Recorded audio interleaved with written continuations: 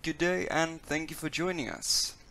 So in the past we've looked at straight line functions, parabola functions, and today we'll be looking at the exponential function. So let's start off by looking at some equations and properties of these graphs. So firstly for this example here on the top, it is represented by the equation of y is equal to a times b to the power of x. So in this equation, a over here will represent my y-intercept.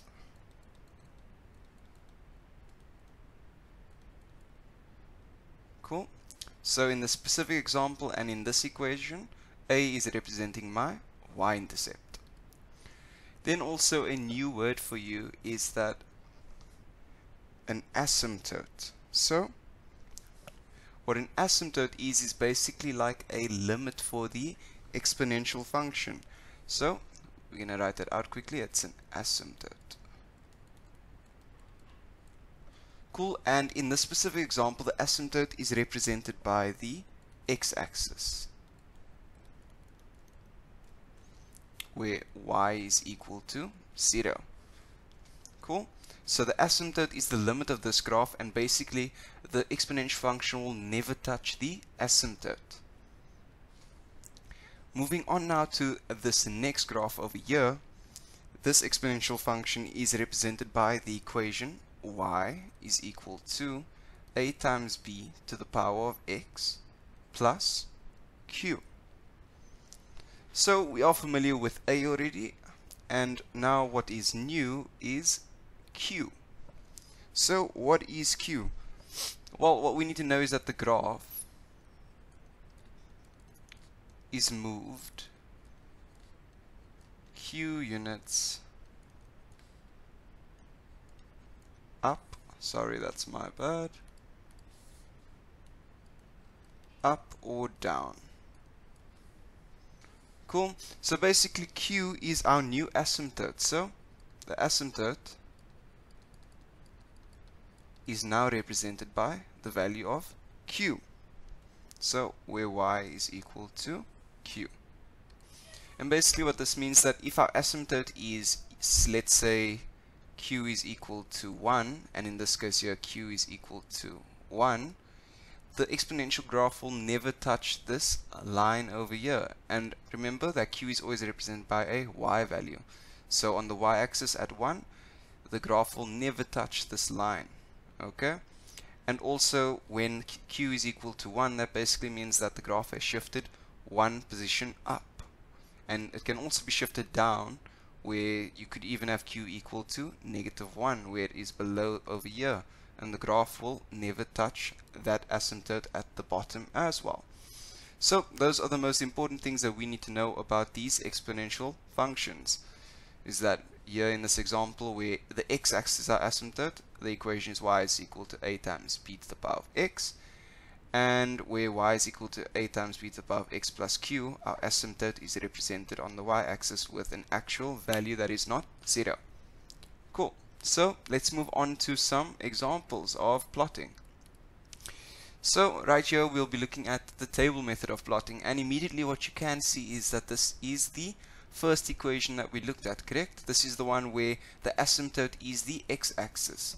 So what you need to know is that these graphs will never touch the x-axis. They'll get as close as they can, but they will not touch it. So we set up our table here already. We have x on the top, y at the bottom, and we can put in standard values of negative 1, 0, and positive 1. So to find out what these y values are, we'll substitute our values into the equation. So our x values into the equation will look like negative 2 times 2 to the power of, first that's a negative 1. Cool, so we know that this is going to be y times negative 2 times, so remember anything to the power of a negative turns into a fraction, right? So this will be a half, and it'll keep the same power, but because it's the power of 1, we don't have to include that. So y in this case is going to be equal to negative 1. Cool. Moving on, now we'll do y is equal to minus 2 times 2 to the power of 0. So we know that anything to the power of 0 will give us 1, so that's minus 2 times 1, which gives me minus 2.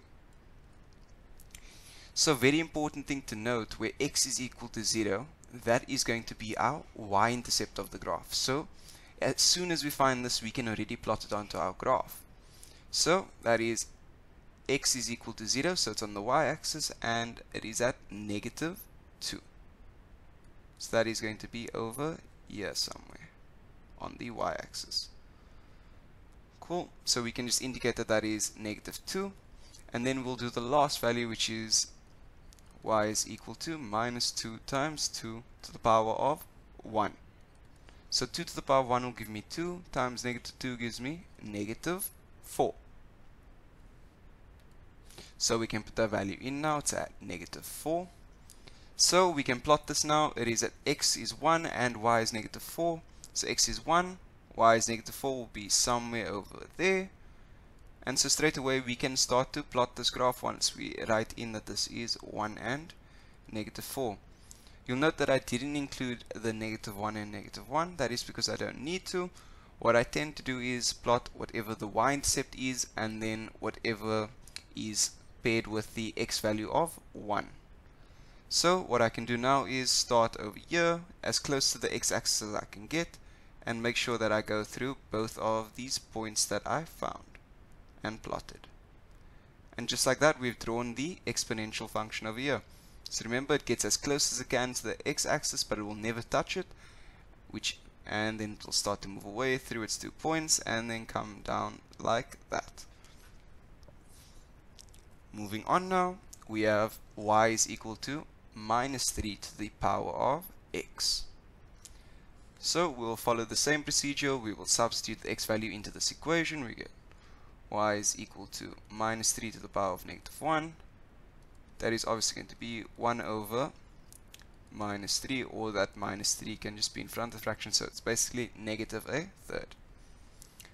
And then we have, we'll just put that in here, negative a third. Then we'll use 0 which is y is equal to minus 3 to the power of 0 so where we have anything to the power of 0, we know that that's equal to 1, so this will be left as negative 1.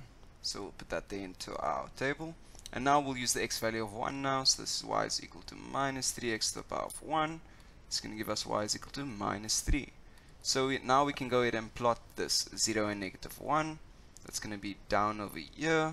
That's 0 and negative 1. And then as well as 1 and negative 3. So that will be somewhere down over here. Remember, none of these sketches are to scale.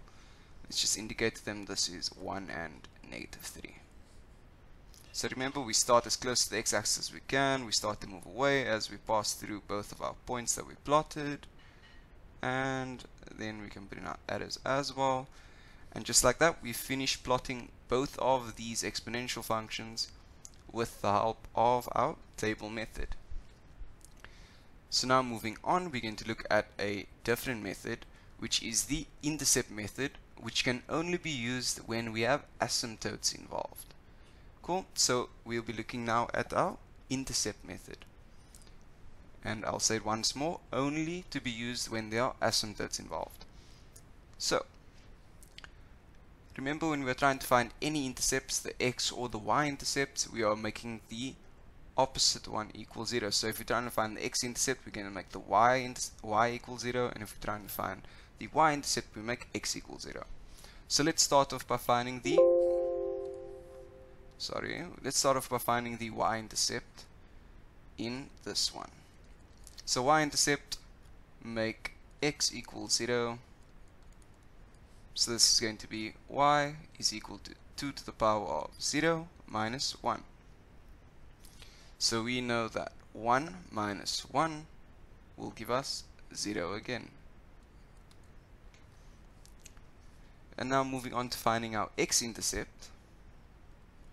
If we find the x-intercept, we make y equal 0. So this will be 0 is equal to 2 to the power of x minus 1.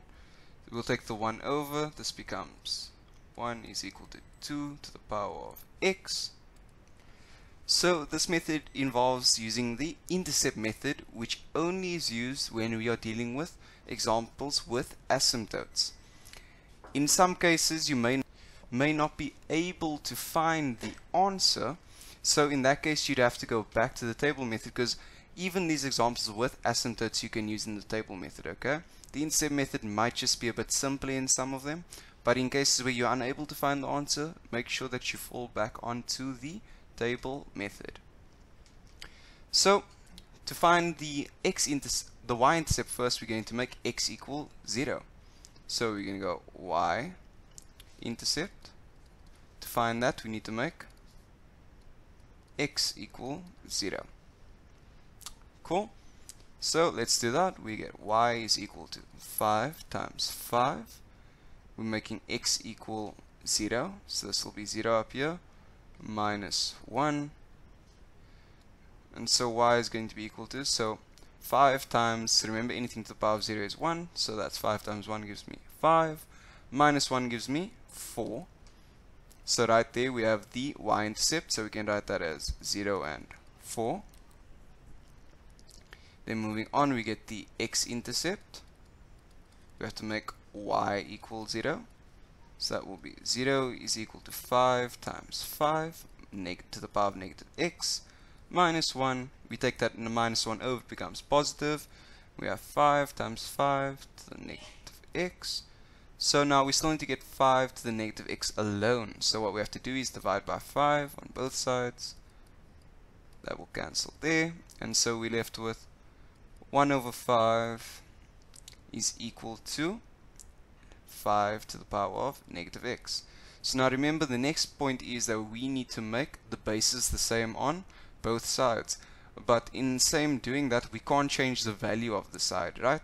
So if I make this side to the value of 5 I need to still keep it at the same value of a fifth okay? So I have the base of 5 how can I make a base of 5 equal a fifth so if you can recall if anything is to the power of a negative it changes to a fraction Cool. So if we can make this 5 to the power of negative 1, it will still equal to a fifth. So in this way we've changed the base to being the same, but we've kept the value of the side the same still. And so from this point, once the bases are the same, we know that the bases will fall away. And so what's left over is minus 1 is equal to minus x.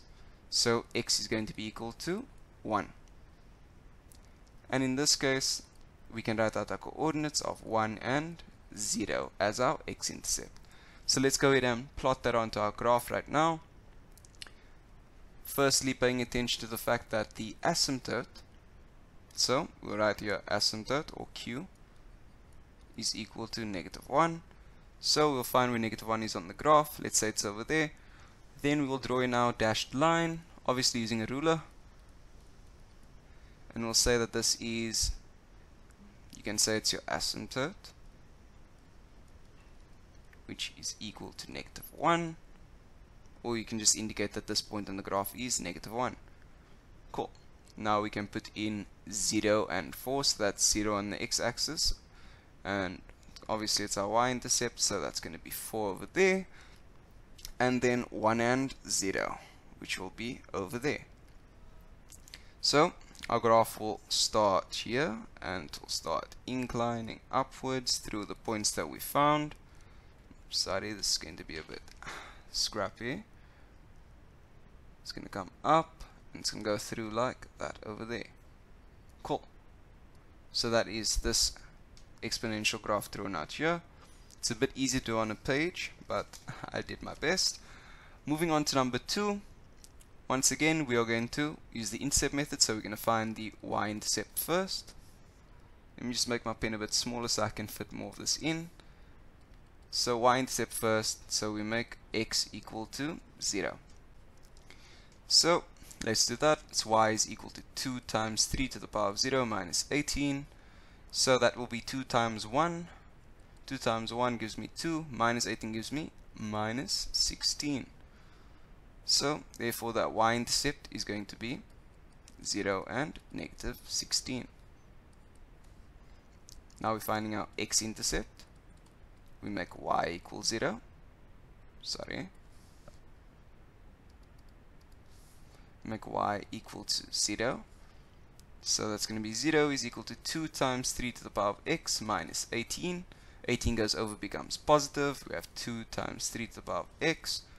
Divide by 2 both sides to get 3 over 3 to the power of x by itself. So we're dividing by 2. So we get 9 is equal to 3 to the power of x. Now we need to make the bases the same. So the base is the same here as is on the other side. And how can we keep 3 the same value as 9? We can say 3 squared. Correct? Because 3 squared still equals 9. So in that way, bases were made the same, but the value did not change. And so this will give us our final answer of x is equal to 2. Because remember those bases fall away. Okay, and then we can write our x coordinate of 2 and 0. Don't forget, indicate that q is equal to minus 18. And so now we'll go to our graph here. We'll find minus 18 probably somewhere way at the bottom. Indicate that's minus 18. And then draw in your asymptote with your ruler, a dashed line going on like this. Or you can say asymptote is equal to negative 18. Cool, let's go ahead and plot. We have 0 and negative 16 that will probably be somewhere over here. We'll say that's negative 16 and then we have 2 and 0 which is over here somewhere. Cool. We'll just say that's 2 and so then the graph will come up go through the points that we found and oops. From this point carries on going up until it passes through the 2 and then we add in our arrows. Also as you can see what I did in the second example that I didn't do in the first is that I should have plotted my points over here and indicated what these points are. So I would have said here that this is 4 and this is 1 cool? As you can see I drew in 2 and minus 16 and so just like that I finished that example. So I finished plotting both of these exponential graphs by using the intercept method which we only apply with asymptotes. And remember, if you do this method and you're unable to find the answer or you meet a hiccup anywhere, fall back on your table method as you can use your table method to plot any equation. Awesome. So thank you for joining me guys. I hope that this lesson has helped you to learn how to plot your exponential functions. Have a good one.